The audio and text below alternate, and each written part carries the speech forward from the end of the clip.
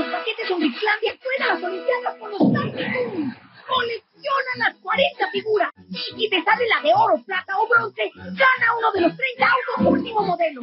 Además, con este cupón ganas millones de premios más. ¡Apresúrate! Autos gratis millones de premios solo con Sonrix y Toons. El día de hoy, como pudieron ver en el comercial, vamos a ver los Tiny Toons olímpicos de Sonrix. Eh, como pueden ver en el comercial, son 40 eh, figuras, pero pues realmente son 20 y eh, pues cada una tiene un variante de color. Pues empezamos con este POP. Como pueden ver, es una. está colgado de, los aros. Es, es una este, gimnasta. La verdad es que, pues, como pueden ver, su, su base de la que está colgada está medio caída, pero eh, si ustedes son amantes de la cháchara, eh, sabrán que es muy difícil conseguir esta figura con la, base de los aros. Eh, pero pues al menos está aquí y está completa.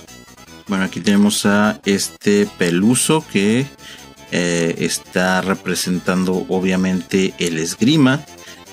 Tiene un ojo cerrado y pues cabe declarar que fue una de las figuras que más trabajo me costó ya que pensé que ya la tenía y pues es la última figura que conseguí de la colección.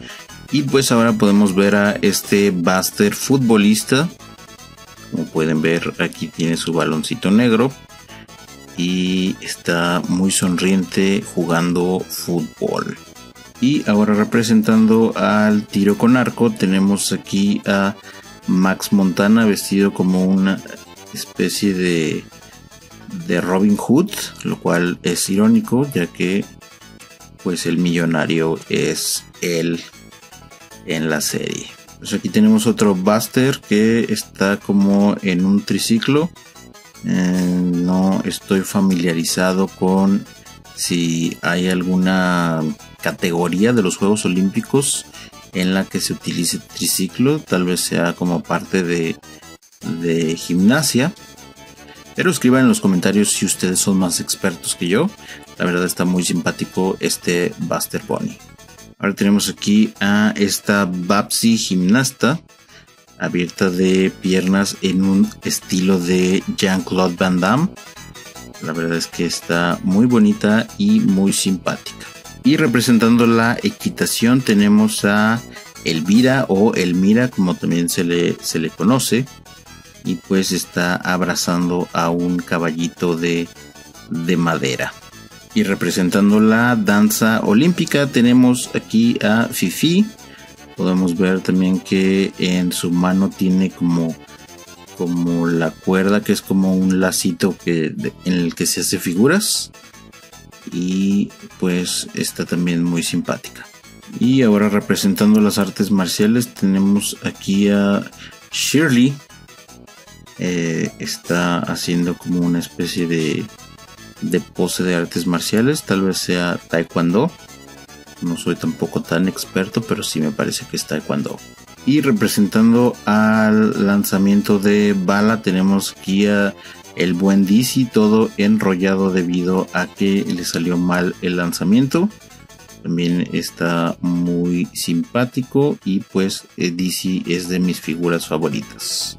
Y pues aquí tenemos un Buster, es un Buster eh, boxeador que está haciendo algo de trampa para poder llegar eh, más lejos. Pueden ver que ese guante de box es falso y tiene truco.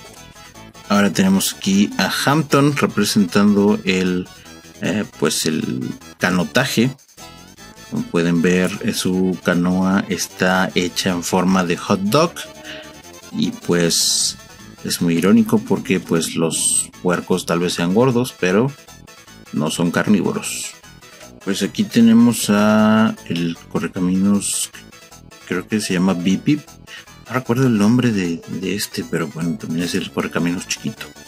Y pues obviamente lo iban a poner pues en eh, pues en, las carreras Ahí se puede ver que tiene el hilo de la meta de haber llegado en primer lugar.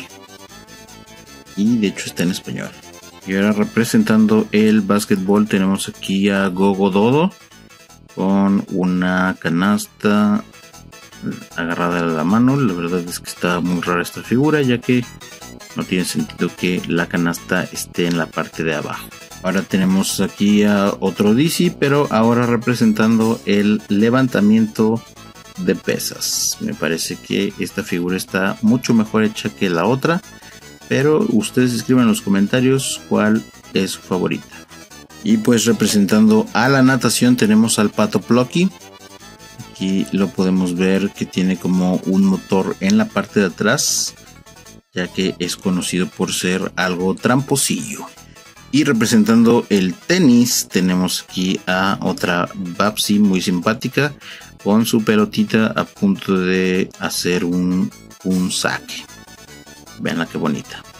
Y aquí tenemos un tercer DC, pero esta vez jugando eh, béisbol. Me gusta mucho el detalle del hecho de que eh, su bat está mordido por él mismo. Eso es muy del personaje. Aquí en salto de... No, salto no, es como lanzamiento de, lanza o de jabalina. Tenemos otro peluso haciendo sus cálculos. Está algo simple pero también muy simpática. Y pues por último tenemos aquí al Coyote Calamidad que está en una competencia de, pues como de carrera de obstáculos. Ahí se puede ver que está, está intentando saltar y tiene una cuchara y un tenedor ya que si ponemos juntas estas figuras tiene más sentido, miren.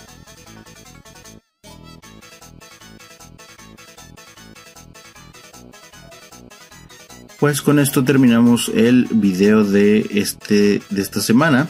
Escriban en los comentarios qué les pareció, cuál fue su figura favorita. Y no olviden suscribirse para más contenido de la cultura pop. Hasta la próxima.